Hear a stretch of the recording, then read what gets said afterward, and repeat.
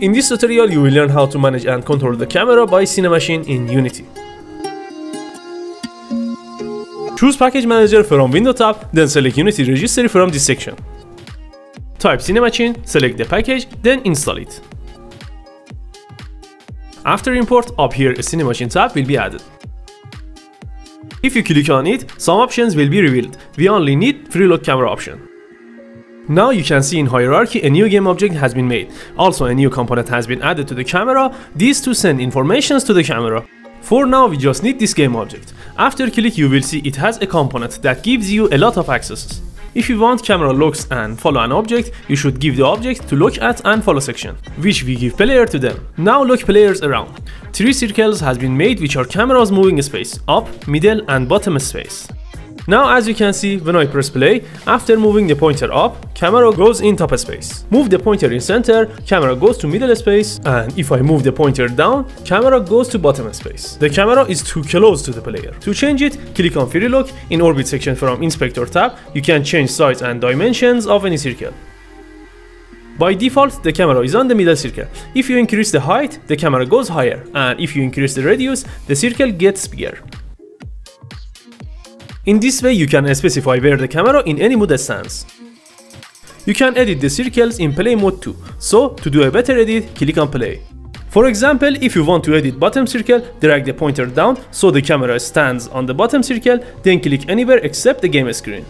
Then select the object again. In this way when you move the pointer, the camera doesn't move, so you can easily edit any circle you want. Now if you want to move the camera between any circle, click on the game tab, then drag pointer a little higher to change the camera position. Then click somewhere else again so that the camera position doesn't change. Press play again. If you move the pointer, camera turns around the player based on the circles that you specified, and it follows player too.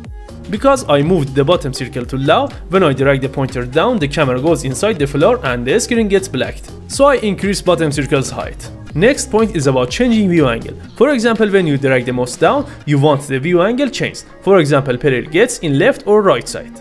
For example, what if you want when you drag the mouse down, camera gets in the right side of player. For this, click on free look, at Inspector tab, look for bottom rig and expand aim section. Here you can specify where the camera will be placed when you drag the pointer down. Change screen X and screen Y to change the camera angle slightly to the right. Change soft zone or blue zoom too, till its size becomes like player. Now look when I drag the mouse up, camera goes up with it, and when I drag it down, the camera is placed at the specified viewing angle to the player. Separate the game tab and the scene tab to understand better. You can change the camera view angle in any circle you want, you just need to change aim options as you want.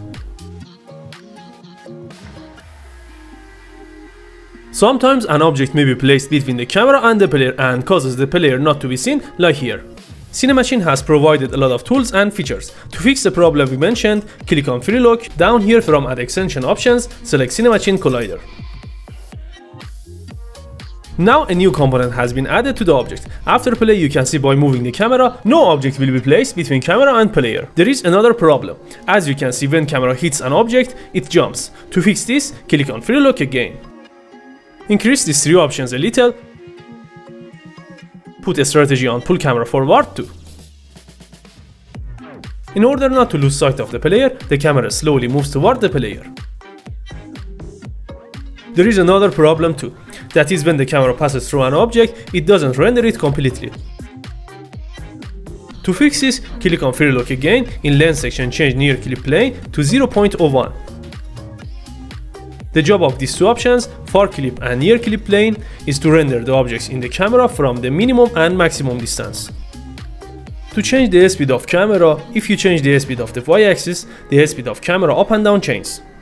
And if you change x-axis speed, the left and right speed of the camera changes.